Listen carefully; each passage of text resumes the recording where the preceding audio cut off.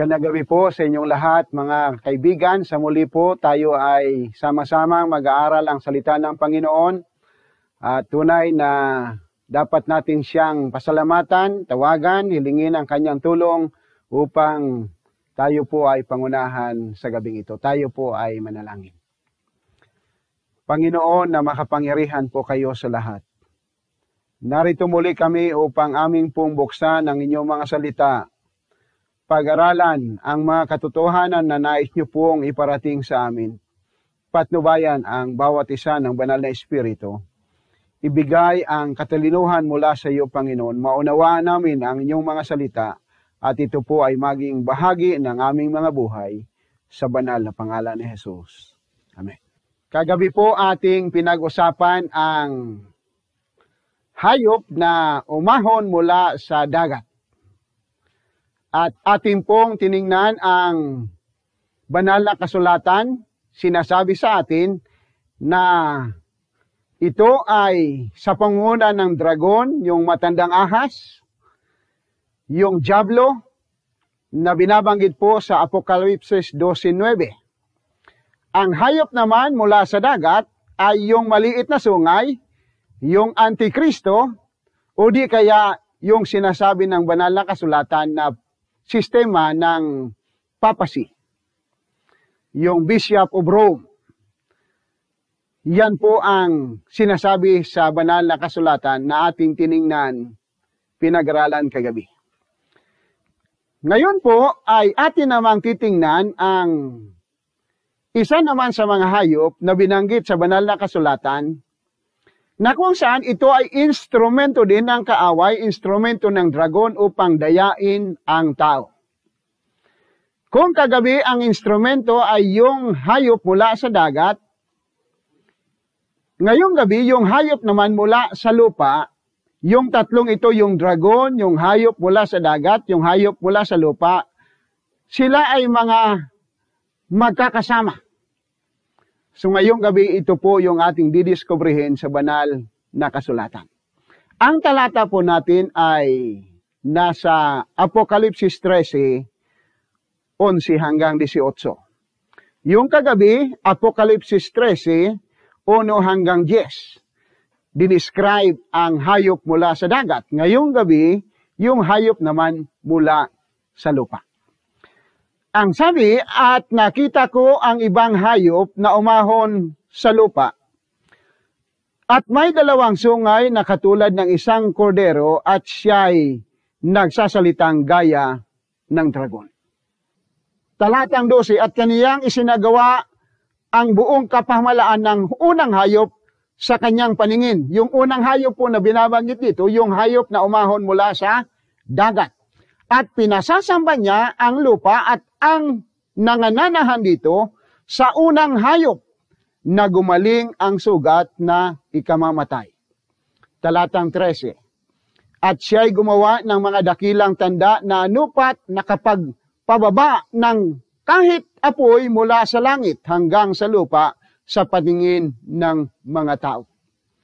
Talatang 14, at nadadaya niya ang mga nananahan sa lupa dahil sa mga tanda na kaniya'y ipinagkaloob na magawa sa paningin ng hayop na sinasabi sa mga nananahan sa lupa na dapat silang gumawa ng isang larawan ng hayop na mayroon ng sugat ng tabak at nabuhay.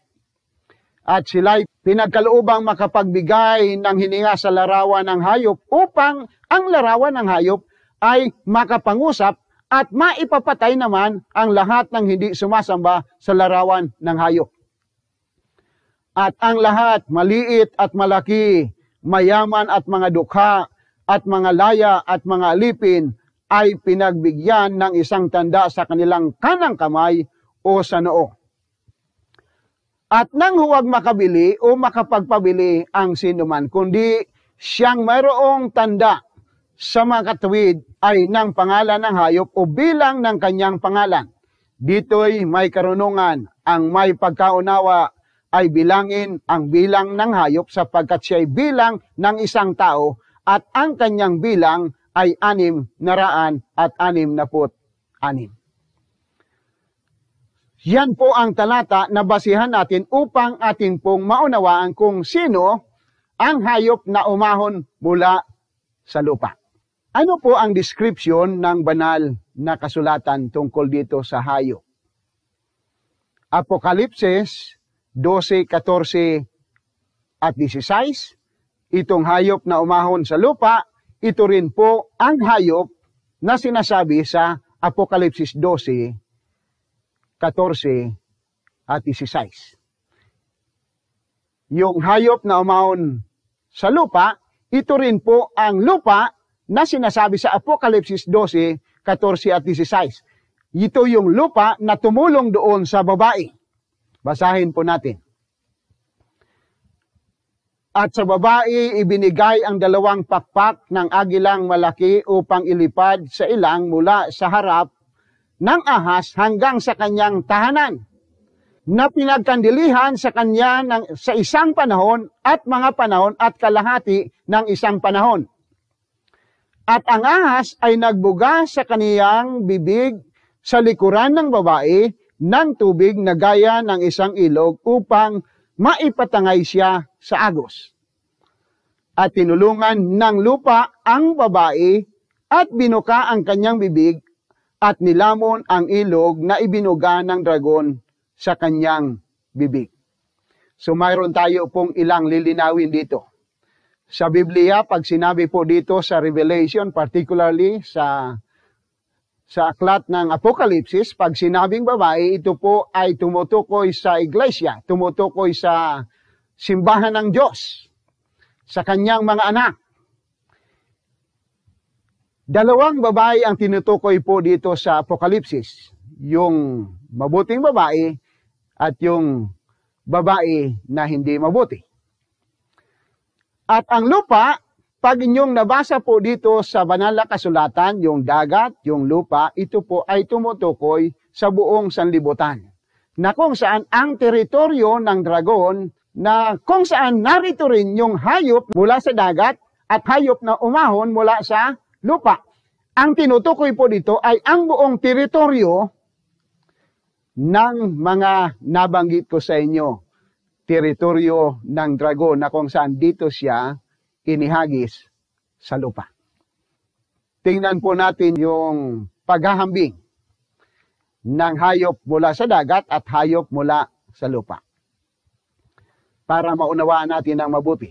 Ang hayop mula sa dagat ay umahon na mayroong siyang sampung sungay at pitong ulo. At sa kanilang mga sungay ay may sampung diadema at sa kaniyang mga ulo ay may pangalan ng kapusungan. Diniskas na po natin yung kagabi kung ano ang kapusungan. Samantalang yung hayop po mula sa lupa, ang sabi, may dalawang sungay na katulad ng isang kordero at siya'y nagsasalitang gaya ng dragon. So yung mula sa dagat, may sampung sungay, pero dito sa kabila, dalawa lang yung sungay niya, pero siya ay katulad ng kordero. Sa English, ang ginamit na salita ay lamb-like beast. Siya ay katulad ng kordero na nagsasalitang gaya ng dragon. Ano pa? Ang hayop mula sa dagat, naghari siya ng 1,260 days or years. Sapagkat binasa natin nung nakaraang gabi, sa propesya, pag sinabing isang araw, ang katumbas niyan ay isang taon. So nagsimula yan 538 hanggang 1798. Ito ang period na kung saan dito po naghari yung tinatawag nating papasi sa banal na kasulatan. Noong unang panahon, nagsimula siya naghari 538, ngunit noong 1798, siya po ay hinuli ni Bercher sa utos ni Napoleon at siya po ay nakulong hanggang sa siya po ay namatay. Ang hayop naman mula sa lupa ay lumabas pagkatapos ng paghahari ng hayop na mula sa dagat. So mapapansin niyo po, very clear ang pakasunod-sunod ng propesiya sa banal na kasulatan na ang hayop mula sa lupa ay lumabas pagkatapos ng paghahari ng hayop na mula sa dagat. Ang hayop mula sa dagat tumanggap ng sugat na ikamamatay noong 1798. Noong ang Papa ay mabilanggo sa utos ni Napoleon Bonaparte. Ito naman na hayop mula sa lupa, ito ay naging makapangyarihan pagkatapos na tumanggap ng sugat na ikamamatay ang hayop mula sa dagat.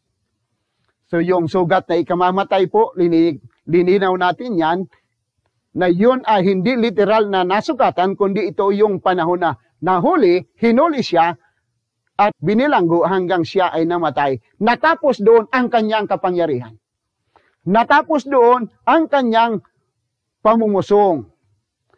At dito, sinasabi sa atin na ang sunod na hayop na bumangon ay yung hayop naman na mula sa lupa pagkatapos na matapos ang paghahari ng hayop mula sa dagat.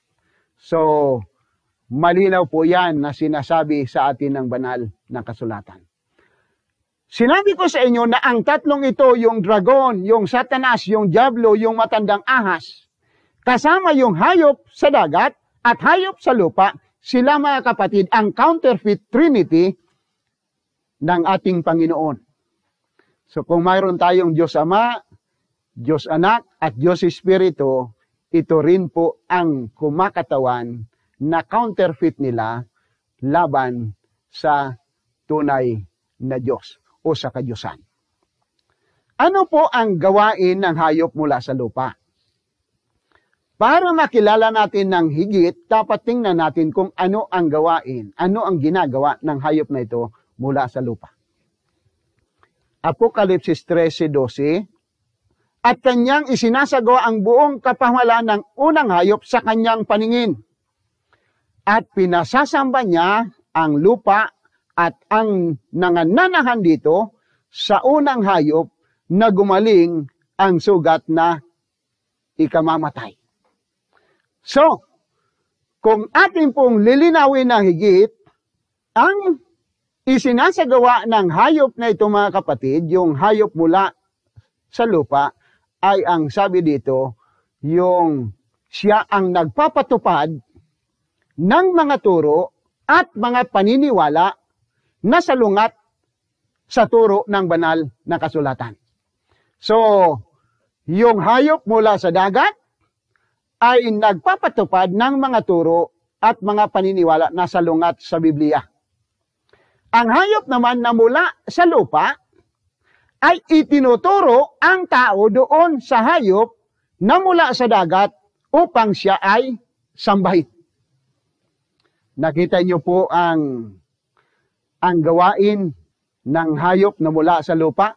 Kung ang hayop mula sa dagat nagpapatupad ng turo at mga paniniwala na salungat sa Biblia, yung hayop mula sa lupa ay Itinuturo naman ang tao doon sa hayop na mula sa dagat upang siya ay sambahin. Bakit dapat siya sambahin? Sapagkat siya ang nagkiklaim na sila ang kapalit ng Diyos dito sa lupa. Paano gagawin ng hayop mula sa lupa na hikayatin ang tao na sumamba sa hayop na mula sa dagat? Apokalipsis 13.13 at siya'y gumagawa ng mga dakilang tanda na anupat nakapagpapababa ng kahit apoy mula sa langit hanggang sa lupa sa paningin ng mga tao. So, gumagawa ito ng kababalaghan. Kaya niyang magpababa ng apoy mula sa langit hanggang sa lupa para makita ng mga tao. Alam niyo po ang background nito. Noong panahon, ang propeta ng Diyos ay nagpababa ng apoy mula sa langit. Ang sabi, simula ngayon, ang sasambihin na natin ang tunay na Diyos. Noong Pentecostes, bumaba ang apoy sa mga alagad. At nagkaroon ng revival sila. Ngayon, ang sabi, ito rin ang gagawin ng hayop mula sa lupa.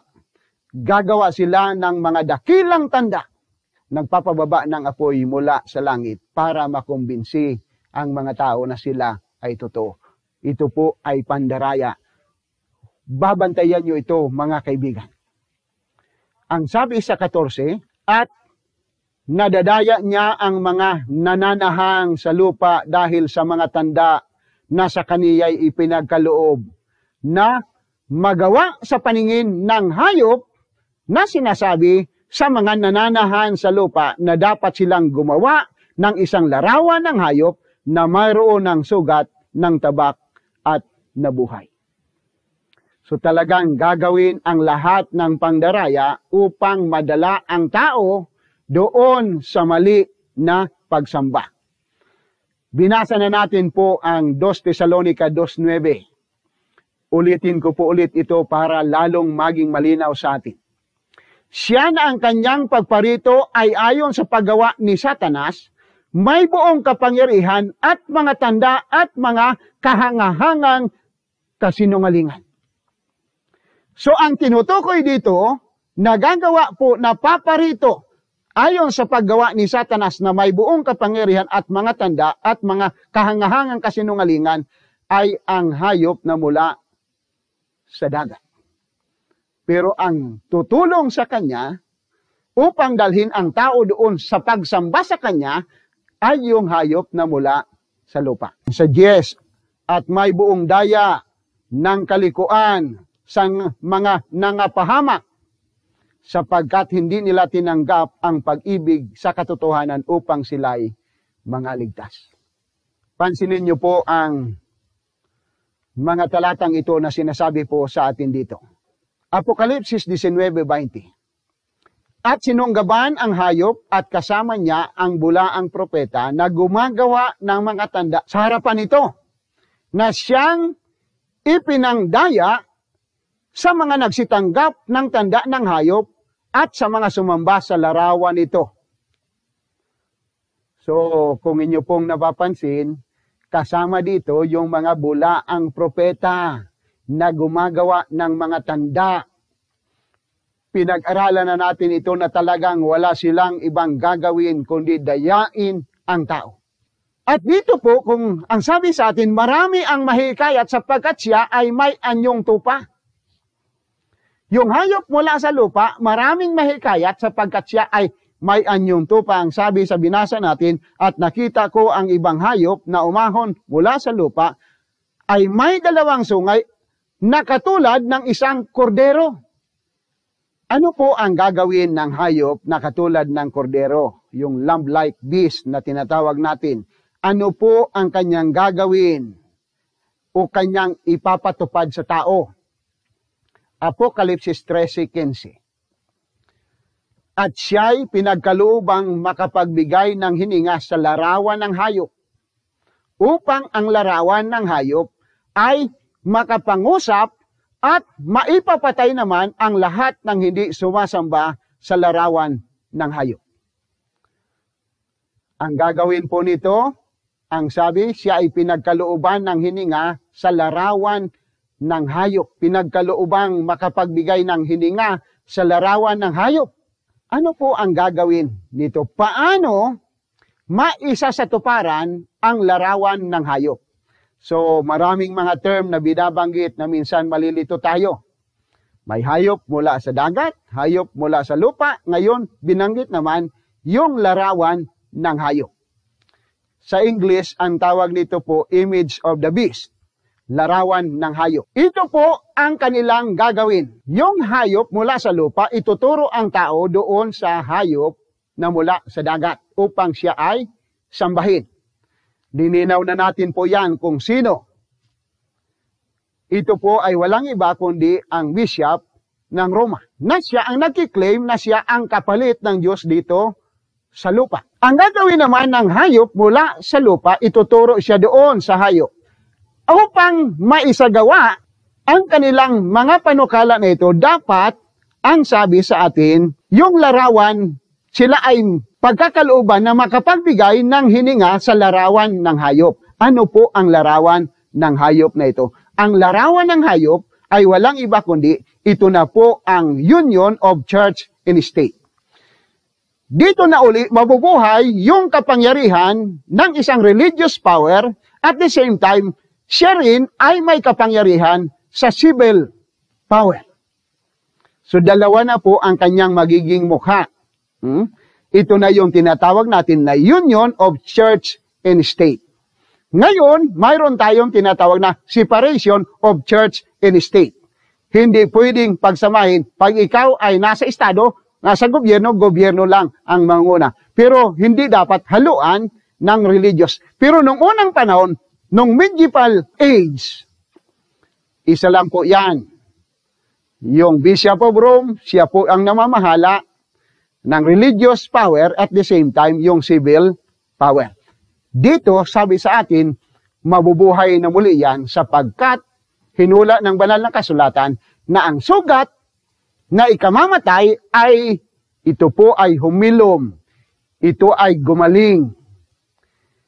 At ang paraan upang ito po ay maibalik, mag-create ng kautosan na dapat ang tao ay sama-sama sa pagsamba. Iisa na lamang ang pagsamba. Ito po ay gagawin at gagawin ng kaaway. Ibabalik yung tinatawag na union of church and state. Mangyayari lang yan po kapag mayroon silang law na ipinatupad at ang magpapatupad nito sapagkat ang tinutukoy po na hayop na mula sa dagat na lumabas na higit na makapangyarihan sa lahat ay walang iba kundi ang Amerika ang United States of America, siya po ang magpapatupad. Pero dito po, dadaanin niya ito sa isang law, isang kautusan upang kanyang maipatupad sa tao. Kung paano ang ginawa ni Satanas na pandaraya at pwersa noong medieval period from 538 to 1798, ganun din ang mangyayari sa huling kapanahonan. Ang sugat na ikamamatay ng hayop, ng unang hayop, yung hayop na umahon mula sa dagat, ang sabi ay gumaling ang sugat na kanyang tinanggap. Ang paggaling ng sugat na ikamatay ay ang pagbangon muli ng sistema ng papasi. Ano ang gagawin ng hayop? Ang sabi rito ay pipilitin ang tao na sumamba sa hayop. Dito po mga kaibigan, mayroon ding babala ang ating pong Panginoon. Ano ang babala ng Panginoon? Apokalipsis 14.9 at ang ibang anghel, ang pangatlo ay sumunod sa kanila na nagsasabi ng malakas na tinig, kung ang sino man ay sumamba sa hayop at sa kanyang larawan at tumanggap ng tanda sa kanyang noo o sa kanyang kamay, sila po ay iinom din ng puot ng Diyos. Nagbabala ang Panginoon na kapag tayo ay tumanggap ng tanda, ang tanda na yun mga kapatid ay ang tanda ng ating pagsamba, pagsang-ayon sa kanila ang sabi ng banal na kasulatan, tayo po ay iinom din, talatang 10, ng puot ng ating Panginoon. Malinaw po ang sinasabi ng banal na kasulatan na ang Panginoong mismo ay nagbabala na wag natin tanggapin, wag tayong sumamba sa hayop at sa kanyang larawan. Sino po ang tatanggap ng tanda ng hayop? O sino ang hindi tatanggap ng tanda ng hayop. Paano tayo makakaiwas na hindi natin tanggapin ang tanda ng hayop? Apokalipsis 14.12, narito ang pagtsatsaga ng mga banal ng mga nagsisitupad ng mga utos ng Diyos at ng pananampalataya kay Jesus. Dito po, lininaw sa atin ng banal na kasulatan na ang paraan upang tayo po ay hindi tumanggap ng tanda ng hayop at hindi sumamba sa kanyang larawan, ang wika dito, dapat nating tinutupad ang mga utos ng Diyos at ng pananampalataya sa ating Panginoong Yesus. Ito lang po ang paraan na sinasabi ng banal na kasulatan upang hindi tayo madaya ng kaaway. So minamahal kong mga kaibigan sa gabing ito, ang hamon ay pinagkaloob sa atin ng Panginoon. Sino po ang ating sasambahin? Ang gumawa ng langit at ng lupa? Hudi kaya ang hayop na nagdadaya, nang dadaya upang tayo po ay mapahamak. Nasa sa inyo po ang pagpipili. Ngunit nais ko pong idalangin ang bawat isa sa inyo upang tayo po ay makapagpasya ng tama sa ating paglilingkod sa ating Panginoon. Tayo po ay manalangin. Ama naming banal, maraming salamat sapagkat patuloy niyo pong inihayag sa amin ang mga katotohanan mula sa inyong salita. Tulungan niyo, Panginoon, ang bawat isa na lalo nilang hanapin, siyasatin ang mga katotohanan ito mula sa inyong banal na salita o Diyos. At pangunahan ang kanilang mga buhay. Na huwag wadaya ng kaaway kundi kami, Panginoon, ay patuloy na mapasailalim ng inyong biyaya at ng kaligtasan. Maraming salamat sapagkat inyo pong pinakinggan ang aming mga pakiusap sa banal na pangalan ni Jesus. Amen. Bukas ng gabi, mga kaibigan, atin pong tatalakayin muli alin ang tanda ng hayop at titingnan natin ng pangkalahatan ang tanda ng ating Panginoong Hesus. Ito po ay ating titingnan at ating din pag-aaralan kung kailan tatanggapin ang tanda ng hayop at yung tanda ng ating Panginoon. So wag po kayong mawawala sapagkat napakahalaga ng ating pag-aaral bukas ng gabi. Pagpalain tayo ng ating Panginoon. Marami pong salamat.